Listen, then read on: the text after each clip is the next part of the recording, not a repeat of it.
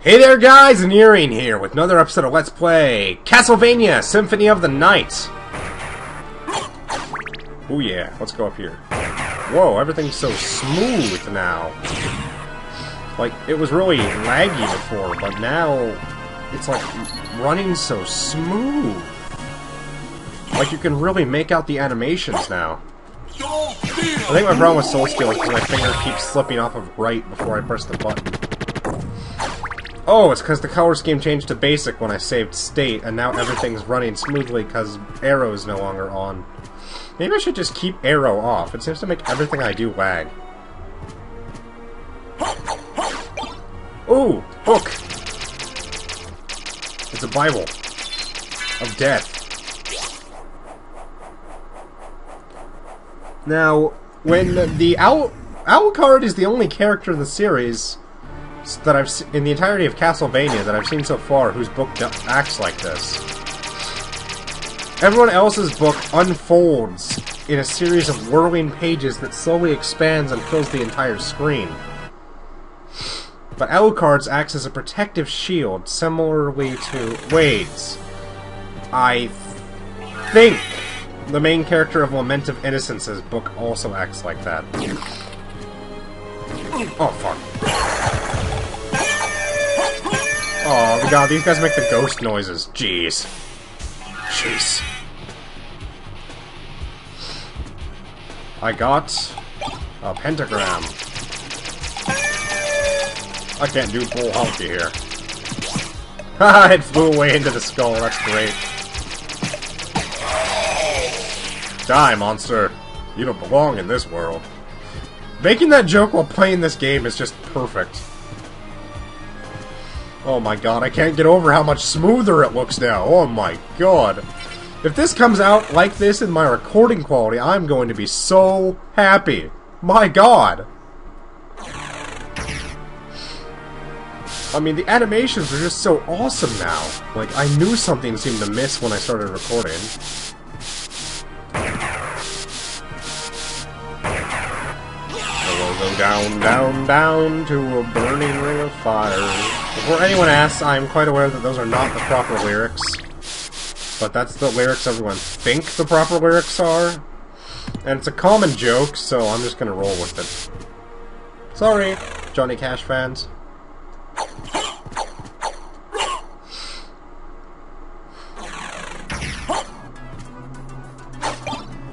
No, I want the book.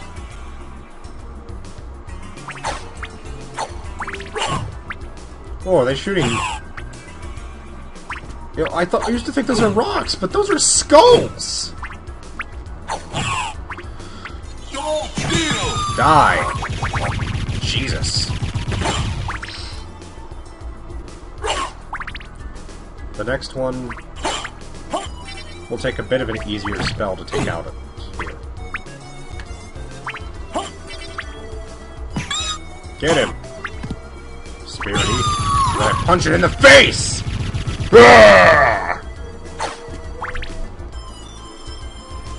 Temporary loss of control, but the recording keeps going and it looks like nothing happened to you guys, so that's fine. The message about it going into walking. My god, I rocked them. Rock and roll. Critical! That was weird. I'm weird. Punch, punch, punch, punch. I've always loved the fist weapons in the Castlevania games. Handguns are my favorite ranged weapons. Uh, Dawn of Sorrow has those. Punch here, punch there, punch, punch everywhere.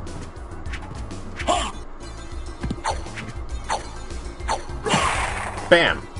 Pow! Right in the kisser. Pow! Right in the kisser. Pow! Right in the kisser. Pow! Right in the candle. And the door opens, and we step on this. Open the door the other way. Off we go. Dashu! Whoa, that was cool.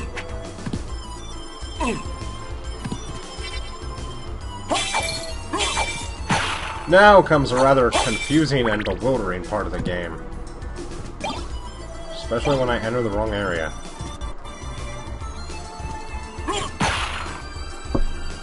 Uh, oh, the proper exit is up there. Okay.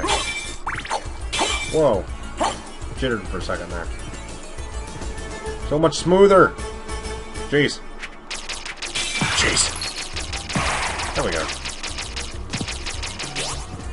Prepare yourself for a new area soon. Whoa, head pain.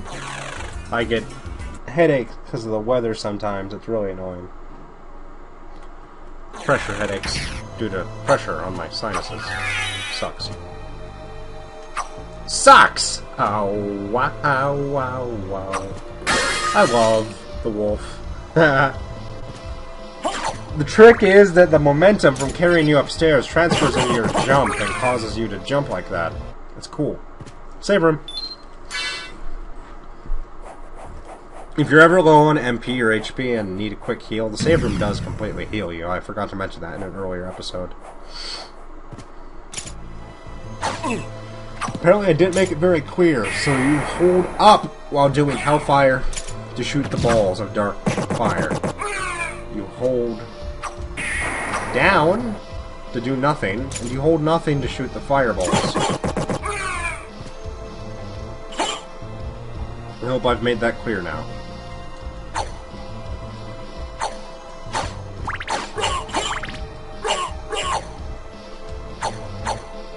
This area is quite a confusing place. These underwater caverns here. And this is a boss. A really easy boss though. It's the Scylla worm.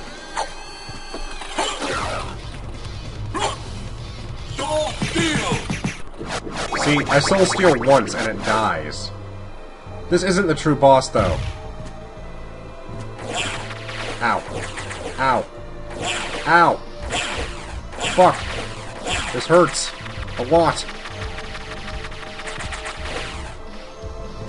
Up here is the true boss. Gotta... Yeah, I noticed the music stopped. That's normal, because there's a boss coming up.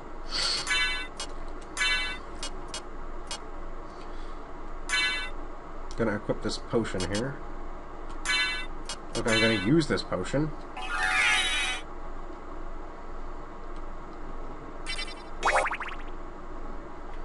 Now I'm gonna, yeah, potions take a while to take out. Now I'm going to equip this pentagram.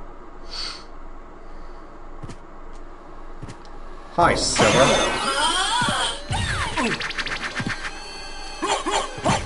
Yeah, the Scylla worms are part of her. Let's get some damage off on the worms so she can't do any shit to me anymore. Use this bastard. But the book is actually pretty strong. Now stop touching her. Whoa! Uh, what, what my MP? To, I need a potion. And then I'll equip an attack potion.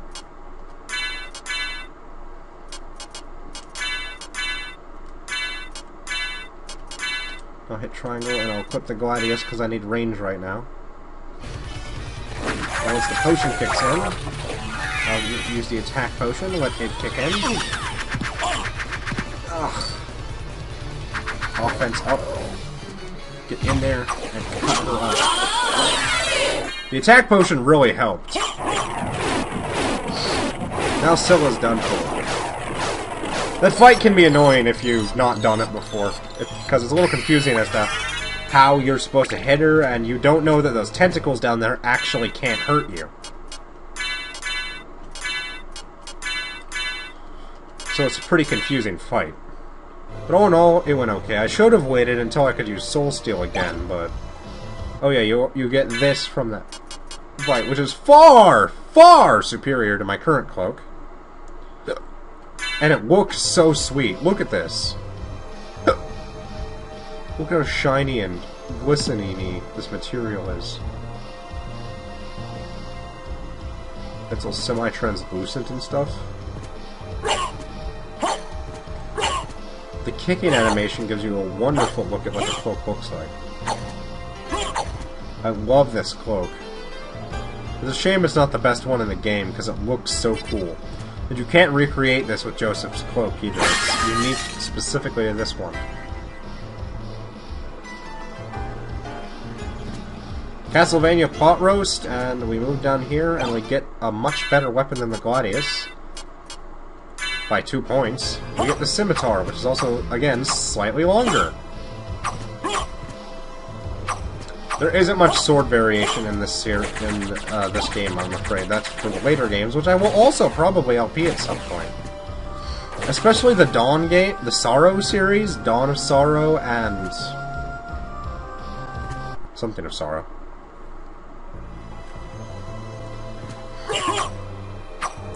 There's a breakable force somewhere around here, but I don't think this one is it. No, it's not. I don't exactly remember why beating Scylla was necessary. Ah, my tooth. Wait! I think I remember now. Or do I? Let me go back and find out.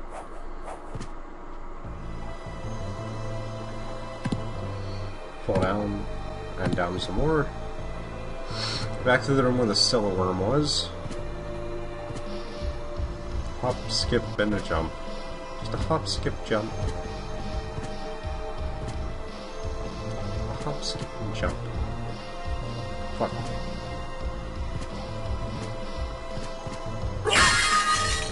Okay, I was wrong. Never mind. False alarm, people. Unbreakable. Unbreakable. Oh, that's right. There's nothing here yet.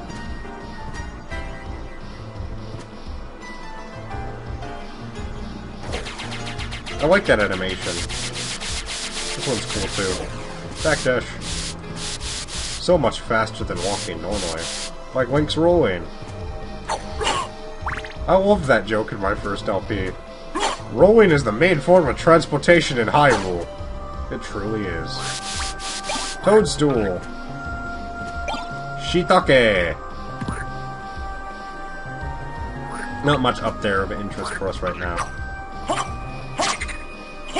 Although we will have to go there because that's the way back up. Now if we push this over here, an interesting thing happens. This area filled with spear skeletons fills with water. And they drown. In fire. Underwater. No! My house burnt down! How did this happen? That's a very good question. So that's where I left my cigar. That just raises further questions! Grats if you get that reference, because that's a really early episode of Futurama. Yeah, I said it's Futurama, but if you haven't seen it, it doesn't spoil the reference, because you don't know what episode I'm talking about, you don't know what happened. Who are you people? Yeah, not going down there yet. Ah, uh, screen blocked out again.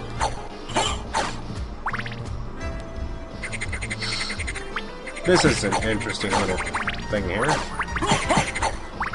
Punch, punch, punch. So many frog punchings. I only got enough punches for a day, dude. Cut. Yeah, you don't have enough health to survive getting that pentagram without the proper materials. Oh, I missed them. Oh well.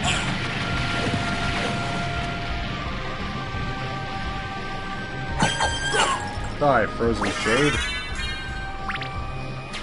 Yay, HP up. Hidden behind the waterfall. We're going to take quite a bit of damage here now. Ow. Punch. Punch.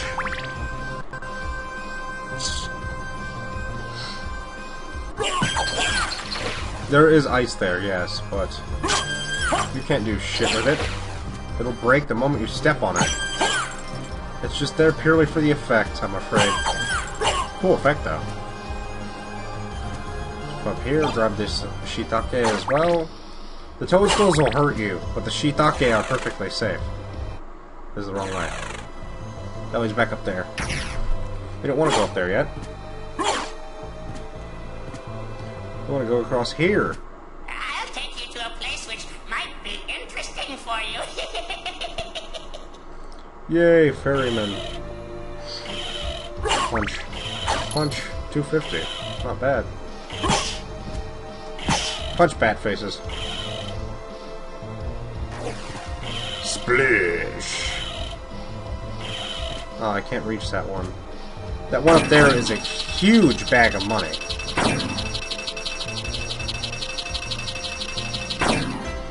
Look at Alucard, looks so regal. Badass. Shoulders are invisible. Look at them. I mean, don't look at them because they're invisible, but...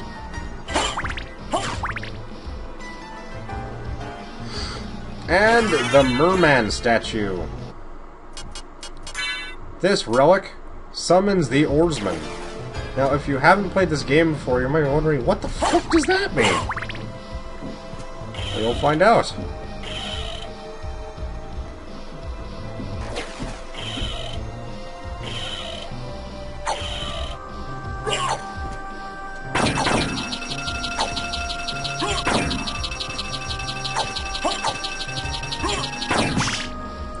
Kicking a bat in the face this time. Whoa, dropped out while I was jumped. That was weird. No. My money! Fuck, I'm getting destroyed by a bat! Yeah, I made it. Now, we don't have any way to ascend vertical shafts quickly. Or at all. So we have to go around to get back there.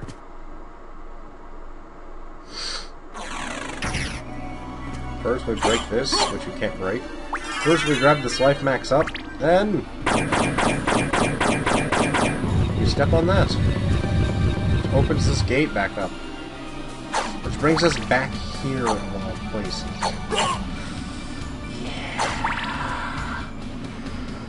Oh, man. Now, what we want to do next is there's an area up to the left that looks like a staircase that we haven't gone up yet. It comes across to where we couldn't get across before from the hall. What we want to do is we want to go up that staircase area and go around there and pick up the leap stone, which lets you do a double jump, because that is very useful and that's what we're going to be doing next. I'll show you the merman statue after. But for now, we're going to have to end this episode off here. So, this has been Inurian with Let's Play Castlevania Symphony of the Night, and I'll see you guys next time, alright? Bye!